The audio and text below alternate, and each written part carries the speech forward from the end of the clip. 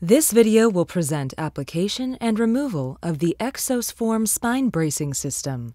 The Exosform spine bracing system includes two models of lumbar orthosis, the Form 626 and Form 627 with front panel. The Form family of products also has two models of lumbosacral orthosis, the Form 631 with tall back panel and front panel, and lastly, the Form 637, which adds side panel supports.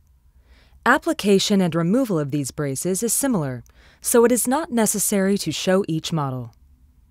To maintain a consistent fit of the brace, before each use, lift the BOA knobs to the upright position and pull apart the rear section of the brace so it is fully separated.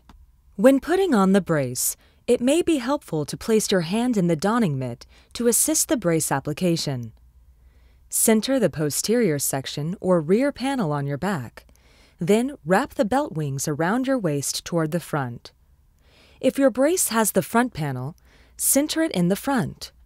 The end with the hook will come over the top of the belt and should secure toward the front of your body. Make sure the brace is applied relatively snug at this point. To tighten a brace, push the BOA knobs down and turn them clockwise.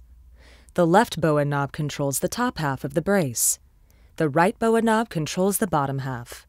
To remove the brace, lift both BOA knobs upright to release tension. Grasp the hook and loop release tab to aid in pulling apart the front attachment.